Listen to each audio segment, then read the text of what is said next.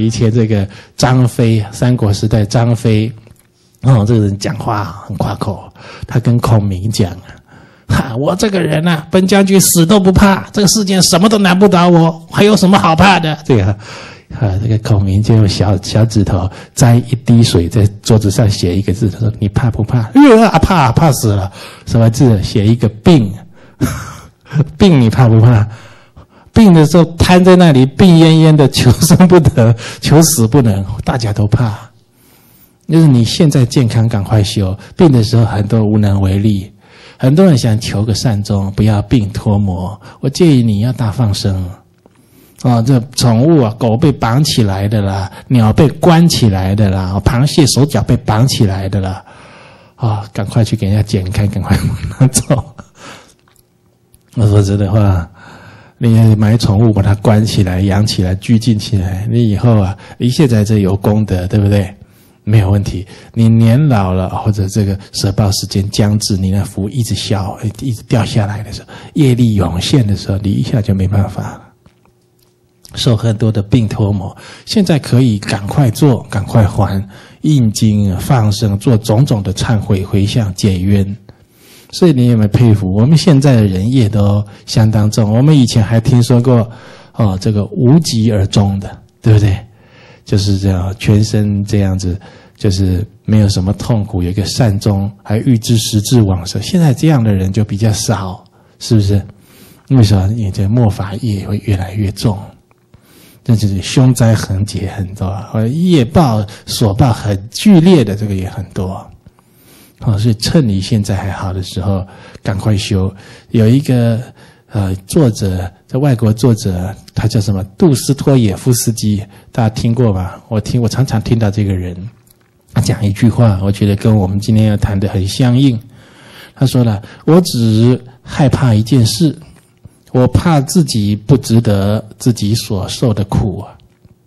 人生在世，就他说他只怕一件事，他怕自己他受这么多的苦，他觉得不值得啊！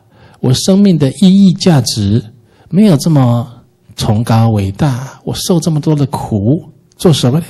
一个心理学家叫法兰克，他讲，活着就是要受苦。啊，受苦呢，就是要找到受苦的意义。我们人，我们现在长到这么大，也受了很多的病苦，而人生的所谓的这个，呃，生在这个世界呢，有许多的八八苦啦，人生八苦，苦苦坏苦行苦。你受这么多苦，你到底它的价值意义在哪里？你有没有受这些苦？比如说你的亲亲人重病，舍报。哦，乃至于他只是生病住院，你的担心害怕呀？哦，亲人呢？比如说我们最近同学摔了一跤，啊，掉到这个洞里面，哦，唔知会死会活，啊，会活唔知会弯转不？哦，大家就很担心呐，求佛。你看这都是心里很苦，对不对？啊，像你受这么多些苦，在人世间这样，到底值不值得？它的意义价值在哪里？就是你有没有因苦生觉悟，因苦生决心？然后，我就觉悟了。这人世间啊，这是苦不断的，我们一定要求处理。啊，这个人世间的，就是一定要发大出离心。啊，现在不能再造苦，还有苦的因呢，对不对？应该要想办法造乐与乐因。所以你现在在因地修学，像菩萨行五十元生经，他都在讲。那怎么样在菩萨的时候赶快修，最后能成就无上的果位呢？那就是他五十种重要的修行。为什么我们现在这两年都在道场都在宣讲关于这因果的经典啊？五道轮转、罪福报应经等等的，因为大家都不了解，很多人他都他都还继续造作恶业，很可惜。那所以同修，你现在。还都一切有可为的时候，要调整世俗这种凡俗琐事的比重，尽量可以过去啊，这交代的过了，都做好了，就不要再深化它啊。家庭生活的五欲，不要深化它，挪出很多的时间空间，让自己对这个道业好好的深入。否则将来你就要后悔。你现在所做的事情，它并不能减少你生病时的一份痛苦。比如说，你现在在啊找什么工作，啊存什么钱，啊追求什么样的理想，还有目标，这些俗物啊，他对利利己利人、对解脱道没有注意的这些事情，在你的病病苦来的时候，劳苦来的时候，甚至死苦来的时候，他没有办法帮助你减少一分的痛苦啊。